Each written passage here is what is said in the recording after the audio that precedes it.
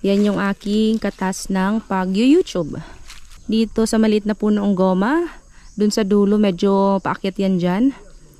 Doon, ayan, may buko din dyan. Hanggang doon sa kabilang dulo. At dito. So ngayon guys, pupunta tayo sa may gumahan. Yung gumahan na yun, yun pala yung aking katas ng YouTube. Nung nakaraang buwan kasi maganda ang pasok ng revenue sa YouTube ko. Pero ngayon, walay na talaga siya.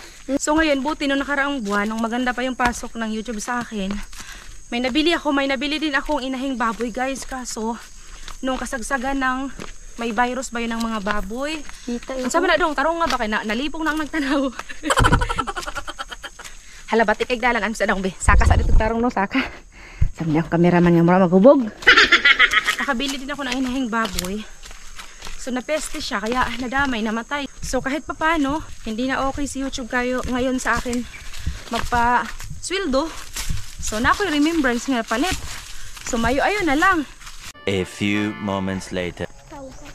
Pahaman mi! Ami akin ubos babaw.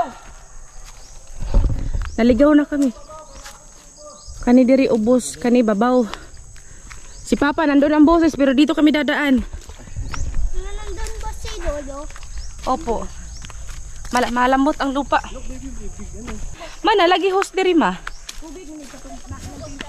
Ama one? May host dito guys oh. Pupunta doon.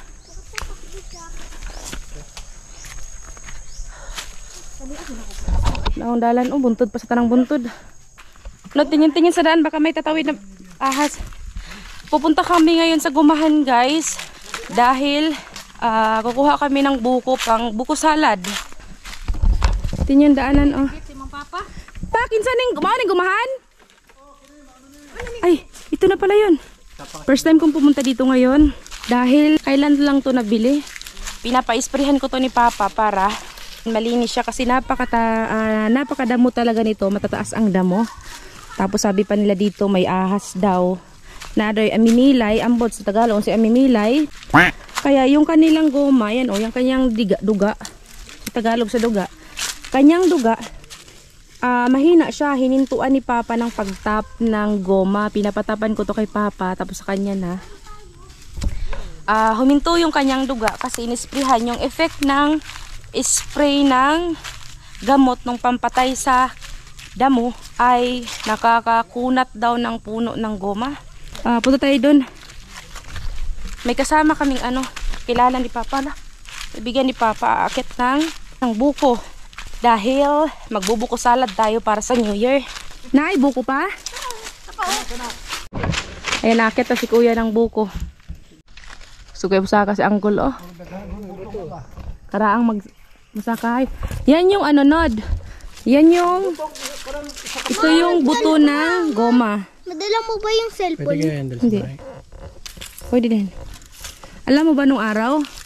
Namumulot kami ng ganyan. Ganto. Buto ng goma. Sa isang lata, limang piso.